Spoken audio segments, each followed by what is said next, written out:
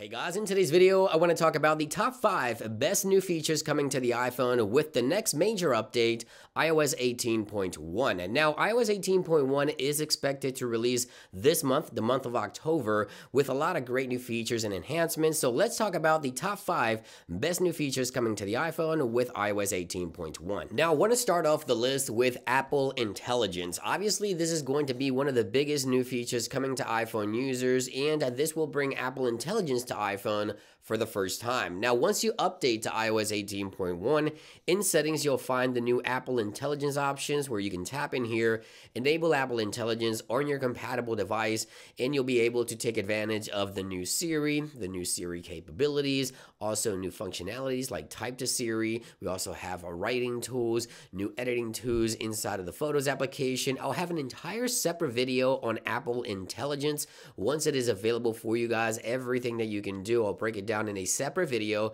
but Apple Intelligence aims to bring the first Apple Intelligent features to iPhone with the next major update, 18.1. And I know most users are excited for this one because keep in mind, if you bought an iPhone 16 and 16 Pro, this was the main selling point, and Apple Intelligence should be available soon with 18.1. Now, something else happening with iOS 18.1 has got to do with Control Center. I'm sure that after updating to iOS 18, you started messing around with Control Control center, adding new controls and changing things around. But some users may get themselves into a bit of a mess after trying to customize their control center, and iOS 18.1 actually gives you the ability to reset your control center back to factory default. All you have to do is jump into settings here, go into your control center extension right here, and then right here we have the new option to reset the control center back to factory reset in case you've created a mess trying to customize your brand brand new control center in iOS 18, which is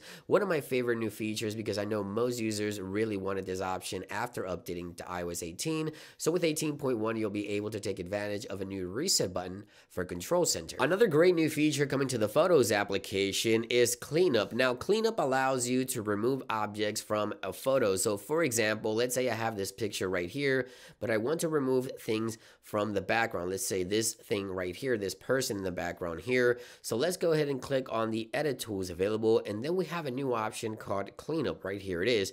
Now this allows us right here to use different things like tab, brush or circle different elements in a photo in order to remove it from the background. You see there Apple Intelligence automatically detecting something distracting in the background. I can tap into that specific object and it will remove the person or whatever it is that you want from the image and then you can just click done and it will clean up the photos for you in iOS 18.1 so yeah cleanup up, one of the new Apple Intelligent features coming to the Photos application, I think is one of the top five new changes coming to the iPhone. Another great new update coming to iOS 18.1 and macOS Sequoia 15.1 is a drag and drop for iPhone mirroring. Yes, you can mirror your iPhone to your Mac, and with iOS 18.1, you can now drag and drop things like images, files, etc. from your Mac over to your iPhone and from your iPhone over to your Mac. And obviously, you can still interact with all your notifications, all your applications, and enabling drag and drop with iOS 18.1 and macOS 15.1 is one of the best new features coming to iPhone users with the next major update. And last but not least, call recording. Call recording is finally coming to all iPhones with iOS 18.1. So once you update to iOS 18.1, you can go into settings and search for for call recording, jump into the settings right here and make sure you enable call recording on your iPhone. And once you do, you'll be able to make a phone call and initiate that call recording on your device. Now, once you initiate the call, on the top left hand corner, you'll see an icon that appears just like so. And this enables you to start recording a phone call on iPhone by simply tapping on this button. You get a three second countdown. The other person does get notified that you're recording the call, and then it starts recording the call for you as you can see right there and you also get your transcripts. And again this is a feature that's coming to every single iPhone with iOS 18.1 and I think it's one of the top five best new features as well coming to the iPhone with 18.1 so let me know what you think about iOS 18.1 so far. Keep in mind again